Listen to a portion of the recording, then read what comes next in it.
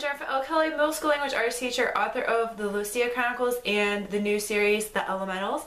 I just wanted to take a minute to invite you to participate in National Novel Writing Month. I'm a huge advocate for NaNoWriMo. I actually have a time-lapse um, video and a video from every single day of NaNoWriMo from a couple years ago. Um, I believe this is my fourth NaNoWriMo, I think, done several camp NaNoWriMos, and I will be working on the fifth book in my Elemental series. Um, this book book is going to focus on the element of metal and it is the conclusion to the series.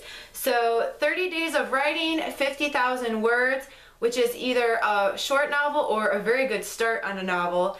And I hope that you will join me. So in the meanwhile, happy reading and happy writing.